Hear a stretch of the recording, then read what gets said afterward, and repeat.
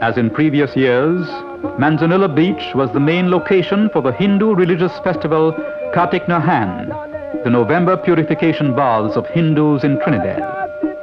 The Kartik Nahan festival, which dates back to the 7th century, is one of the main religious festivals of Hindus in India. Every year, millions gather on the banks of the Ganges seeking purification.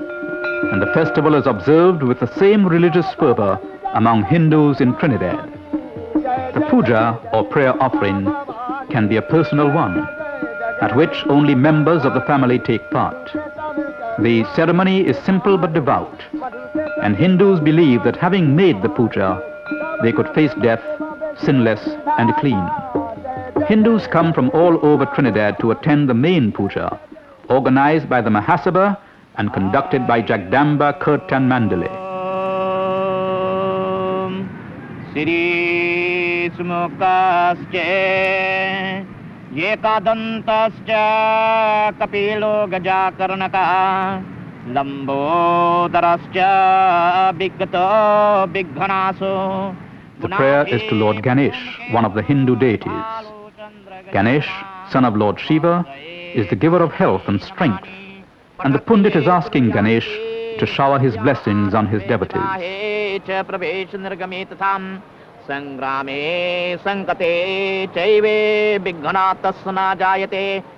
Two pundits officiate at the puja. One explains the significance of the puja to the various deities in a ceremony lasting about two hours. The other pundit performs the oblations on behalf of the devotees.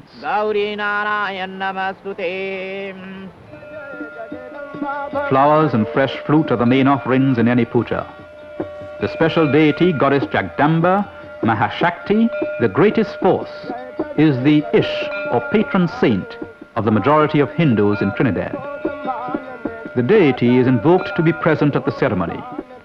Hindus believe that Jagdamba would take her place at this simple altar, and she is welcomed by offerings of fruits and flowers and Indian sweetmeats. Hindus also believe in the power of the natural elements to sustain life. The ghee is poured into fire forming smoke, which goes up to the sky to form clouds. From clouds come rain, and from rain, crops and bounty. The mango leaf, considered sacred and purified, is used instead of spoons for offerings of water and ghee to the deity.